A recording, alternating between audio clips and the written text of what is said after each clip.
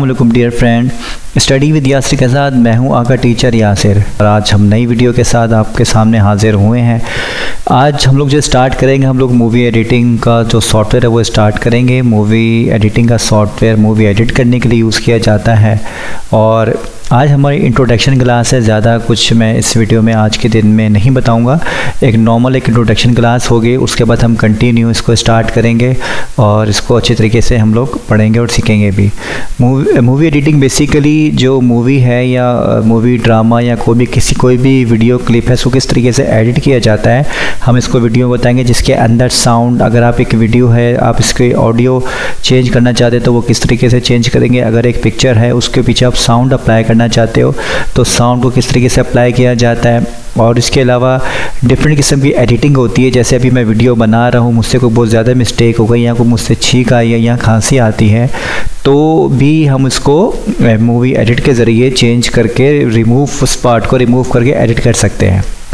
तो चलते हैं अपने सॉफ्टवेयर की तरफ़, काम की तरफ़। जिन साथियों ने हमारा चैनल सब्सक्राइब नहीं किया, हमारा चैनल को सब्सक्राइब करें। बेल आइकन पे क्लिक करें, ताकि आने वाली वीडियो की नोटिफिकेशन आपको मिल जाए। यहाँ पे मैंने प्रीमियर प्रो ऑन करके रखा हुआ है। अब हम लोग स्टार्ट करते हैं। इसका कुछ सामने इंटरफेस आ रहा है, उसको हम लोग आज डिस्कस करेंगे। अभी देखें, जैसे मैंने इंटरफेस ऑन किया, अब यहाँ पे सबसे पहले लिखा हुआ है फ़ाइल नेम फ़ाइल नेम मतलब जैसे हमारी क्लास वन है तो हम लोग यहाँ पे क्लास वन लिख देते हैं, ठीक है? यहाँ पे क्लास वन हो गया। नीचे जो है, उसकी डिटेल्स आ रही है। आपको ये कहाँ पे सेव करना है। फोल्डर बताना है लोकेशन बतानी है। ब्राउज़ में चले जाते हैं डी ड्राइव के अंदर या कोई किसी भी ड्राइव के अंदर हम लोग इस फोल्डर को, ये मैंने पहले ही फोल्डर बना के रखा हुआ है, ठीक है? क्लास वन का यहाँ पे। तो हम इसको क्लास वन को इस फोल्डर के अंदर ही सेव कर देंगे। फोल्डर बनाना है आपको पहले। देखिए, मैंने फोल्डर बनाना है और उसके ऊपर आपने नाम लिख देना है प्रीमियर क्लास या वट कुछ भी लिख सकते हैं। यहाँ पे आपने फोल्डर बनाने के बाद और इसमें क्लास वन मैंने ऑलरेडी यहाँ लिखा था और उसको सेव कर दें यहाँ पर आपका यहाँ पर क्लास वन लिखा हुआ आ रहा है। और नीचे जो डिटेल आ रही है, वो सारी डिफ़ॉल्ट है ऑटो अभी तो हमें इसकी ज़रूरत नहीं है, लेकिन नीचे जो सामने यहाँ पे नज़र आ रहा है जी मतलब कि जो ग्राफिक कार्ड होता है, उसे कहा जाता है जी पी जो हमें रेंडर निकलेगा, उसको सपोर्ट करेगा।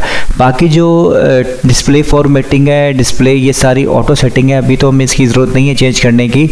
तो टाइम के साथ साथ हम इसको डिस्कस करेंगे। अभी मैं ओके करता हूँ, और यस किया मैंने यहाँ पे तो मेरे पास एक पेज यहाँ पे ओपन हो गया। ये कुछ फ़ाइल है जो मैंने पहले ही एडिट करके रखी थी तो मैं इसको यहाँ से हटाता हूँ और अपना एक प्रोजेक्ट हम लोग एक नई तरीके से इसको स्टार्ट करते हैं। जैसे अभी फ़र्स्ट करें, मैंने दोबारा ओके किया। यस कर दिया और यस किया और यहाँ से हमारा जो पूरा इंटरफेस है वो न्यू तरीके से आ चुका है।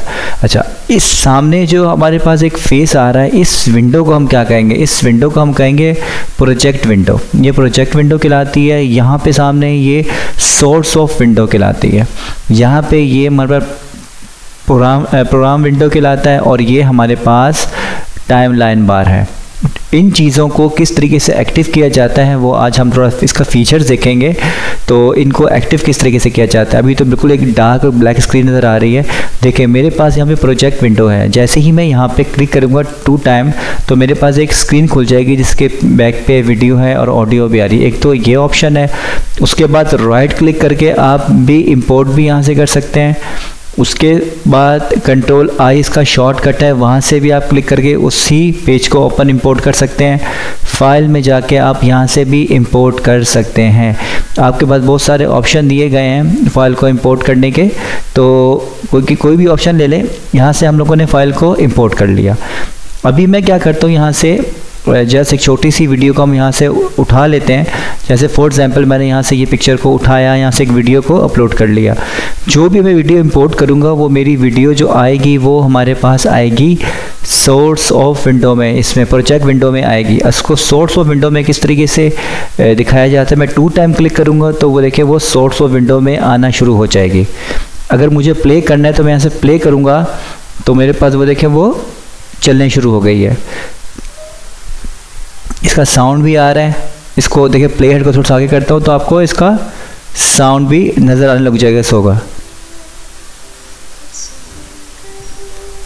अब हम लोगों ने टाइम लाइन बार कैसे एक्टिव करनी है, इसको उठाना है। इसको उठा के हम लोगों ने यहाँ से टाइम लाइन बार में डाल देंगे इसी वीडियो को। तो वो अब मैं प्ले हेड मैं स्पेस बार प्रेस करूँगा, यहाँ पे टाइम लाइन बार के अंदर वो अब मेरे प्रोग्राम विंडो के अंदर चलने शुरू हो गई है। तो मैंने आपको जैसा कहा कि तो आज थोड़ा सा इंट्रोडक्शन है कि इसमें वीडियो एडिट किस तरीके से की जाती है सोर्स ऑफ़ विंडो को किस प्रोजेक्ट विंडो को किस तरीके से यूज़ किया जाता है वो भी मैंने आपको इंपोर्ट करके दिखाई वीडियो और सोर्स ऑफ़ विंडो में किस तरीके से वीडियो अपेयर होती है, वो भी मैंने बताया और आपको प्रोजेक्ट विंडो में कैसे चलेगी टाइम लाइन बार को भी मैंने एक्टिव करके बता दिया। इंशाल्लाह नेक्स्ट क्लास में आपको पूरा प्रॉपर तरीके से इंट्रोडक्शन दोबारा से दूँगा और हम प्रॉपर तरीके से क्लास को स्टार्ट करेंगे। उम्मीद है आज का लेक्चर आपको पसंद आया होगा। स्टडी विद यासिर के साथ। यासिर को दे इजाज़त। अल्लाह हाफिज़।